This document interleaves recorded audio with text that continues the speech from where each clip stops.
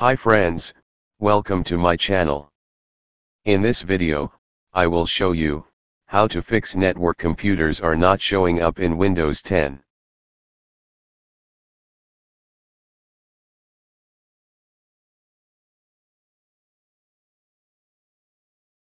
Open Control Panel. Going to Network and Sharing Center. Advanced Sharing Settings. Make sure that in the Private Network Profile section the following options checked, turn on Network Discovery, and turn on Automatic Setup of Network Connected Devices. In my system already checked, and network computers are not showing up. I need fix this problem. Going to search bar and type services. Open services.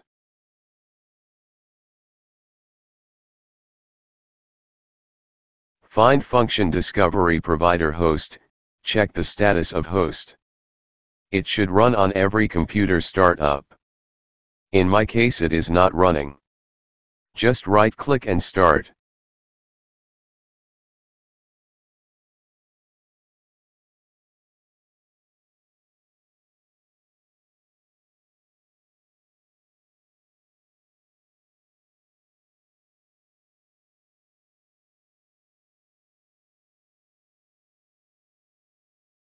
Now network computer is showing up. Sometimes you might see the same problem in the next restart.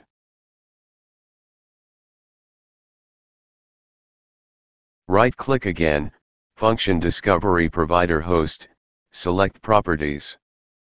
Change startup type, by default is manual change to automatic, or automatic, delayed start.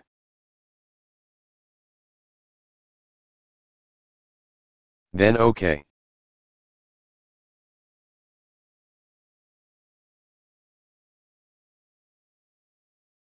If this is not a fix in your case, follow this. Open Control Panel. Click on Programs and Features. Turn Windows features on or off on the left panel.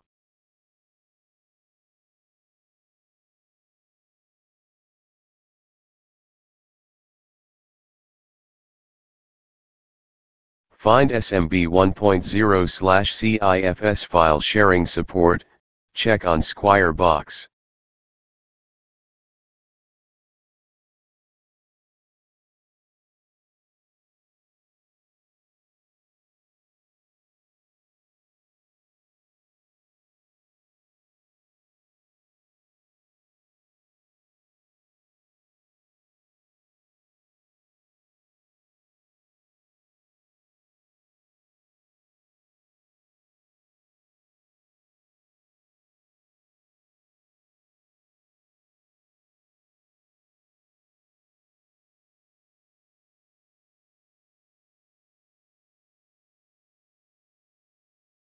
After that, restart your system. Thanks for watching my videos, if you like this video make sure to subscribe for more.